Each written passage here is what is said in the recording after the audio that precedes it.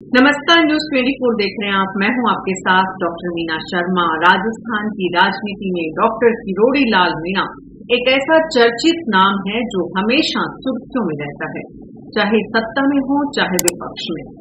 इस वक्त बीजेपी की सरकार है और डॉक्टर किरोड़ी लाल मीणा कृषि एवं ग्रामीण विकास मंत्री हैं। कैबिनेट मंत्री हैं, लेकिन चर्चा में इसलिए है क्योंकि उन्होंने अपनी सरकारी गाड़ी छोड़ दी है, साथ ही दफ्तर नहीं जा रहे हैं।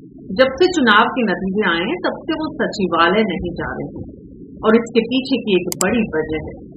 चुनाव के नतीजे जिस दिन आ रहे थे, चार जून को, उस दिन किरोड़ी लाल मीणा ने अपने सोशल मीडिया हैंडल पर लिखा, रघुकुल रीत सदा चली आई, प्राण जाए पर वचन न जाए। ये बात उन्होंने अपनी उस बात को याद दिलाते हुए कही, जो उन्होंने चुनाव से पहले कही थी। दरअसल, डॉक्टर किरोड़ी लाल मीणा ने कहा कि प्रधानमंत्री जब दौसा आए थे तो उन्होंने उन्हें एक पर्ची दी थी और उस पर्ची में सात लोकसभा सीट की ज़िम्मेदारी डॉक्टर किरोड़ी लाल मीणा को दी थी। मीडिया से बातचीत करते हुए डॉक्टर किरोड़ी लाल मीणा ने वो सभी सीट भी बताई जो प्रधानमंत्री ने उनके जिम्मे की उन सात सीट में से दरअसल लोकसभा चुनाव के परिणाम जब आए तो चार सीट जो है, वो बीजेपी हार गई है। और इसीलिए विपक्ष कांग्रेस पार्टी जिसकी जीत हुई है उन चार सीट पर डॉक्टर किरोड़ी लाल मीणा से इस्तीफा मांग रही है। डॉक्टर किरोड़ी लाल मीणा राजस्थान की राजनीति में वसुंधरा राजे से भी वरिष्ठ हैं पाँच साल लगभग। राजेंद्र राठौर डॉक्टर दिगंबर सिंह जो इस वक्त नहीं है आ, पहले सरकार में मंत्री थे और भी जो वरिष्ठ नेता है तो राजस्थान में बीजेपी के इस वक्त सबसे वरिष्ठ नेताओं में से एक है डॉक्टर किरोड़ी मीणा। और वो अगर जनता के बीच चुनाव के पहले ये कहते हैं कि वो इस्तीफा दे देंगे और हमेशा जनता को जल्द सेवा करेंगे। अगर कोई एक भी सीट लोकसभा चुनाव में बीजेपी हार जाती है जो उनके जिम्मे है। लेकिन चुनाव में जनता ने डॉक्टर किरोड़ी लाल मीणा की बात नहीं सुनी। मीणा समाज उनके साथ नहीं जा पाया। डॉक्टर किरोड़ी लाल मीणा का ये जो पूरा इस्तीफे का किस्सा है इसने बीजेपी की परेशानी को बढ़ाया हुआ है और कांग्रेस को एक मौका दिया हुआ है। अब सवाल ये है कि डॉक्टर किरोड़ी मीणा बीजेपी के वरिष्ठ नेता के रूप में पार्टी की परेशानी को बढ़ाना चाहते हैं या पार्टी को आने वाले उपचुनाव के लिए तैयार करना चाहते हैं? बातें इस तरह की भी आ रही हैं कि डॉक्टर किरोड़ी लाल मीणा अपने भाई को आने वाले उपचुनाव में कहीं न कहीं सेटल करना चाहते हैं और ये भी इस वक्त जो इस्तीफे की राजनीति है, इसके पीछे की कहानी है।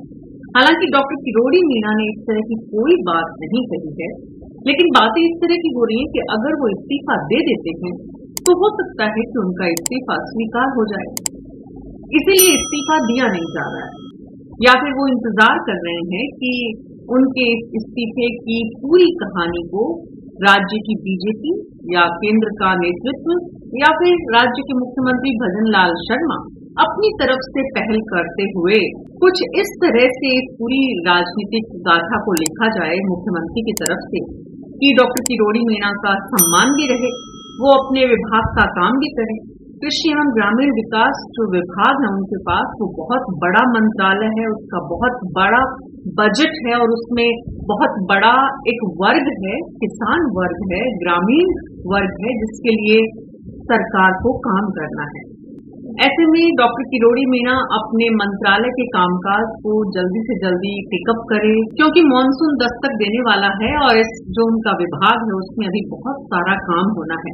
तो विभाग के काम को कैसे रफ्तार दी जाए, सरकार मिलकर कैसे काम करे, इस तरफ़ मुख्यमंत्री भजन लाल शर्मा खुद पहल करते हुए काम करें। अगर डॉक्टर किरोड़ी मीणा के सम्मान और उनकी वरिष्ठता को ध्यान में रखते हुए वो ऐसा चाहते हैं तो सरकार ये भी करे, या फिर डॉक्टर किरोड़ी लाल मीणा अपना इस्तीफा दे और सरकार उसे स्वीकार करे।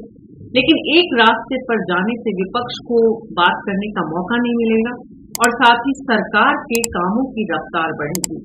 ऐसे में ज़िम्मेदारी अगर डॉक्टर किरोड़ी लाल मीणा एक ऐसी परेशानी में फंस गए हैं कि इस्तीफा दें तो भी पार्टी के हित में नहीं है, उनके खुद के हित में नहीं है, राजस्थान की जनता के हित में नहीं है, क्योंकि अभी सरकार मुश्किल से काम करना शुरू की है। फिर से अस्थिरता आएगी, फिर से किसी और मंत्री को एक तरह से ये डिपार्टमेंट देना पड़ेगा। तो बीजेपी का आला कमान भी निश्चित रूप से इस पर नज़र बनाए हुए हैं कि इस मुद्दे को कैसे टैकल करना है। लेकिन बेहतर होगा कि बीजेपी इस मुद्दे को जितना जल्दी टेकअप करे, जितना जल्दी इसका समाधान निकाले, उतना जल्दी राज्य की जनता के विकास के कामों को रफ्तार मिले। डॉक्टर किरोड़ी मीणा बीजेपी में भी रहे, बीजेपी से बाहर भी गए, अपनी अलग पार्टी भी बनाई। आंदोलनों के लिए जाने जाते हैं बड़े बड़े आंदोलन किए।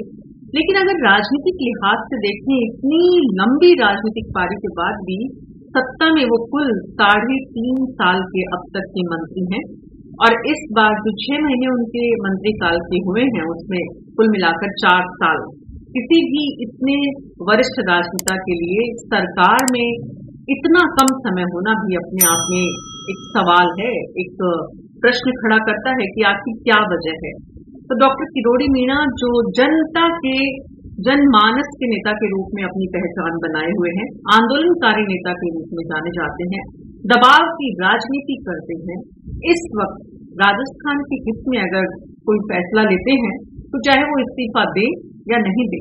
दोनों ही स्थिति में उन्हें इस मुद्दे पर जल्द से जल्द कोई फैसला करना चाहिए और सरकार के साथ बैठकर कोई समाधान का रास्ता भी निकालना चाहिए।